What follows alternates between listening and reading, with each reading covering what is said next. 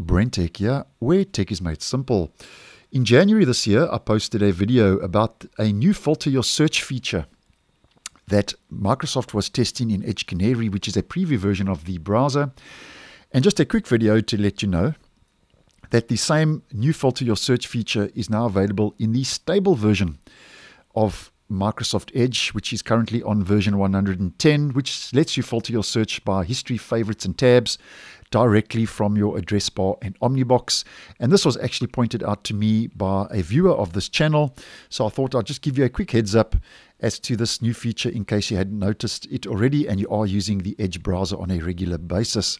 So just to demonstrate, if we click on our address bar and our Omnibox, you'll see now we have a filter your search by history, favorites, and tabs.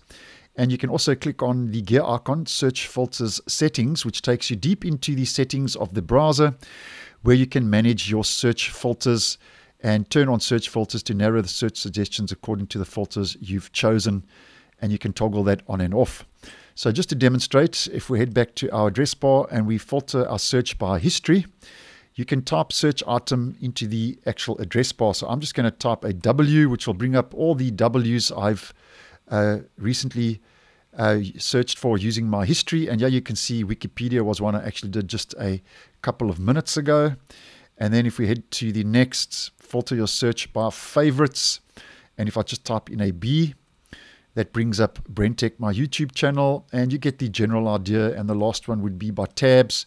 You can filter your search by the amount of tabs or the open tabs you have in the browser. So that's the new filter your search, which lets you search from the Omnibox by history, favorites, and tabs, now available in stable version 110. Now, while we are talking about stable versions, just on a side note, if we head to the calendar, our next major release, version 111 of Microsoft Edge, will start rolling out next week, starting the 9th. So that will be next week, Thursday, the 9th of March 2023, and that could start rolling out the 9th, moving into the weekend. So Edge version 111.